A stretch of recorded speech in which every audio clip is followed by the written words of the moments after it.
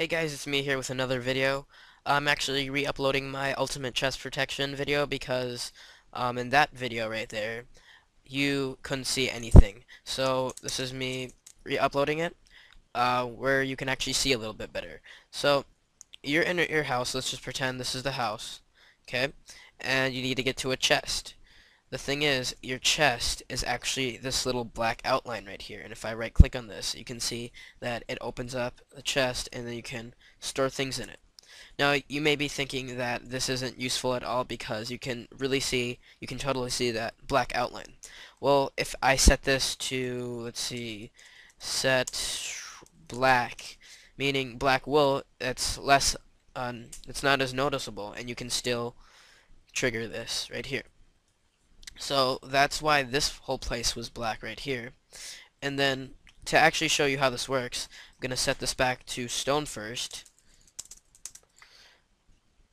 And behind here, what is going on is I basically merged, um, I merged a stone into a chest, uh, minecart chest.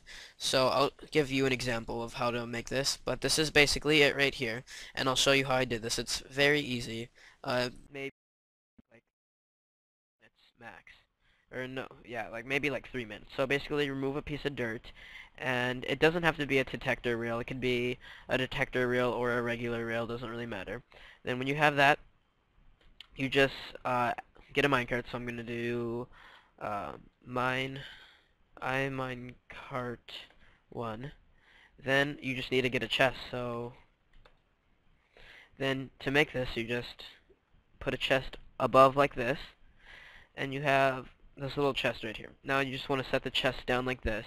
Oh yeah, another thing, you want to make sure you have a block up above um, the top here, so you'll know what I mean. So if this happens, then you just break the minecart, then pick it up again, and then you have to make it again.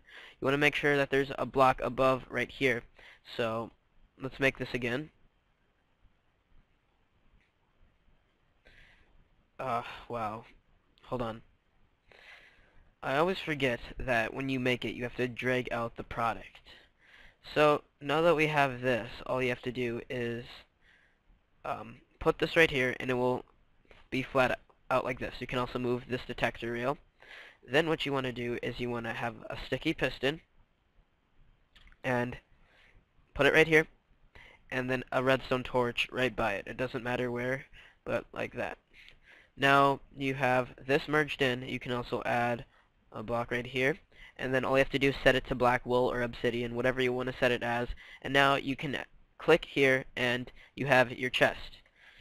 So just a pretty cool way to protect your stuff um, with this minor minecart glitch. I hope you guys like this. Uh, be sure to check out my other videos. I'll put up an annotation somewhere. But thanks for watching. I'll see you guys later.